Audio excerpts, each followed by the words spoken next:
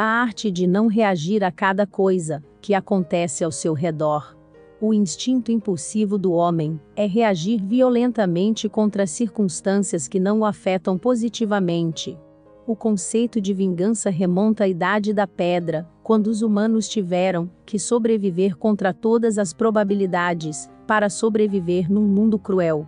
No mundo moderno de hoje, no entanto, esse tipo de abordagem pode levá-lo atrás das grades. Não, mas falando sério, você já pensou como poderia pular as fases momentâneas de reação violenta para uma vida feliz? Pensar em buscar vingança ou reagir profusamente não leva a um resultado feliz no final. O mantra secreto, de acordo com estudos científicos, consiste em apenas quatro palavras: não reaja, seja proativo.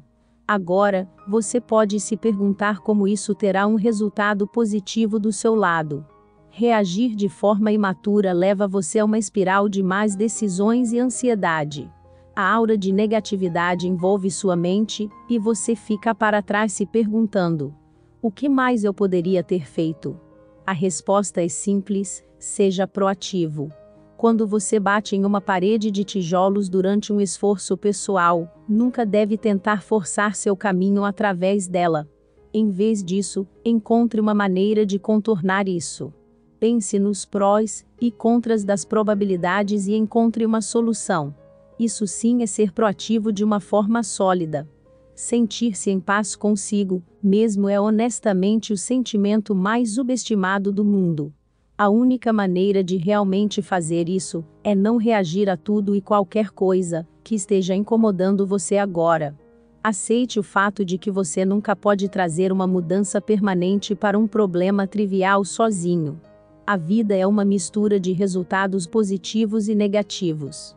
Se você conseguir filtrar a negatividade e o drama clichê de sua vida e se concentrar em seus objetivos pessoais e no ambiente de pequenos atos de amor ao seu redor, a tarefa se tornará muito mais fácil do que parece.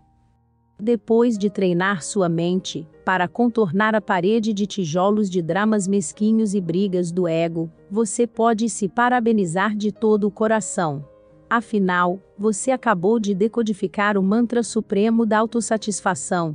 Claro, você pode nunca conhecer os detalhes de algumas circunstâncias desnecessárias e cheias de drama, mas você alcançará aquele nível de sua mente espiritual, que nunca se perde na vida, perseguindo a tão almejada noção de sucesso, a felicidade eterna. Portanto, toda vez que sentir vontade, lembre-se de que nenhuma reação é a melhor reação. Gratidão. Namastê.